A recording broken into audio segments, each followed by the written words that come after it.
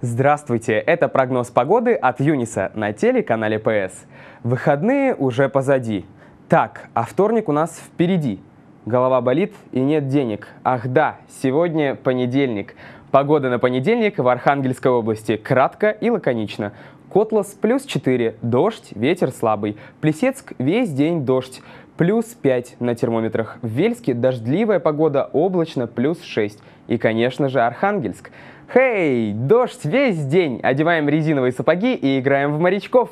Утром температура воздуха плюс 4, днем немного теплее и плюс 5, вечером плюс 3 градуса, ветер слабый. И все, что было набело, откроется потом. Мой рок-н-ролл — это не цель и даже не средство.